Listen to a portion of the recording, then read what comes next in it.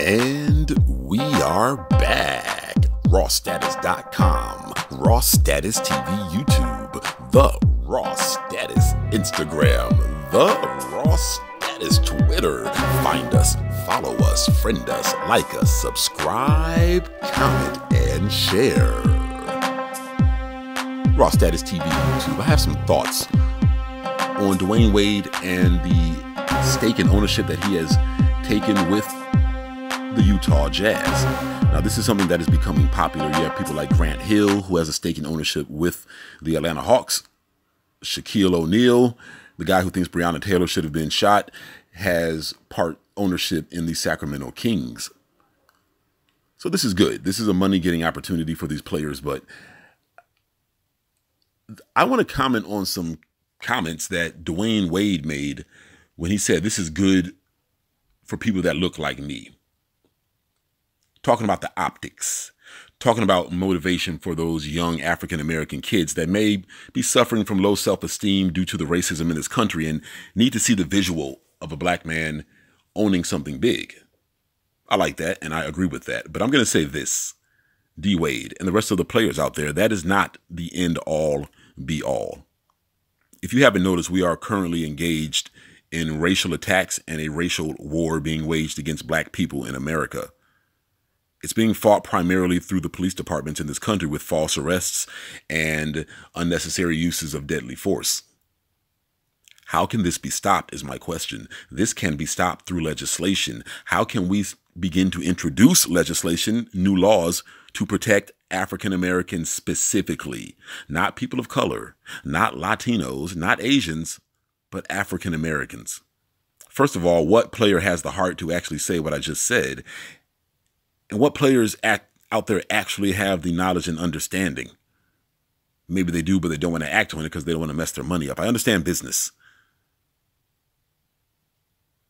But I ask should these players be doing more to put pressure on their state, local, and federal politicians to pass laws to protect African Americans from this onslaught by the police forces in America?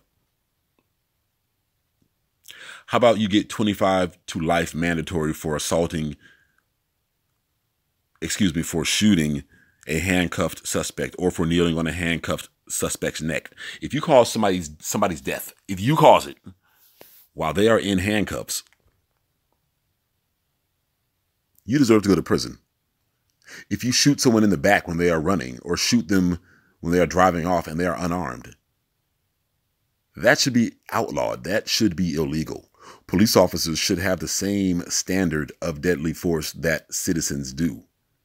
And I believe that someone like Dwyane Wade in a position to speak out on that should make that happen. Now, it's interesting that the Utah Jazz hired him as their face. They do this a lot, kind of like how Papa John's Pizza, how their CEO was exposed for being racist and they decided to go out to go out and hire Shaquille I think Breonna Taylor should have been shot. O'Neal, the big step and fetch it that he is, and that dumbass smile on his commercials.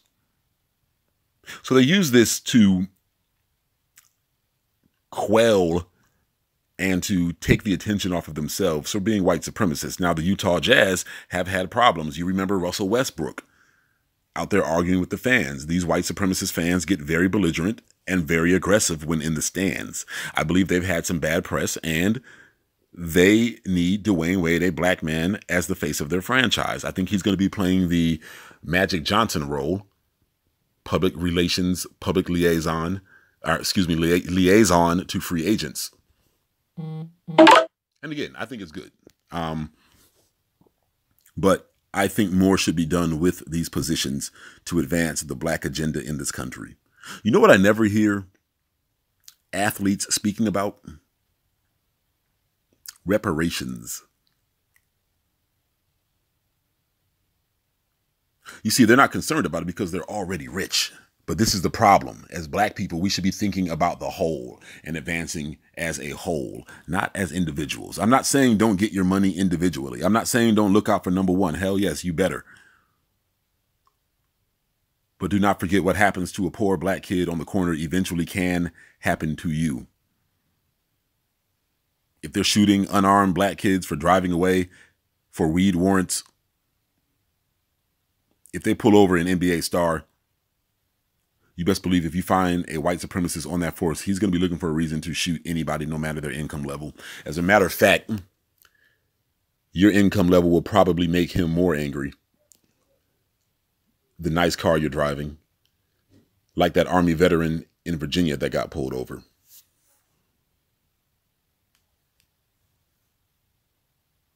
So, yes, I would like to see more of this. I'm not saying this will happen. Because again, listen, a lot of these athletes are straight up and down sold out. They act like they're going to lose their money if they start speaking on white supremacy and using the word white supremacy and using the word black agenda and talking reparations and talking stiff, harsh punishments for race soldiers, that is, police officers that pretend to be officers of the law, officers of the law when they are really nothing but white supremacists. Comments in the box. What do you think? This is Raw Status TV.